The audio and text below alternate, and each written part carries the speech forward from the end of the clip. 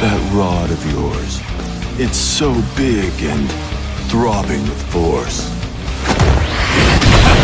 now give it to me!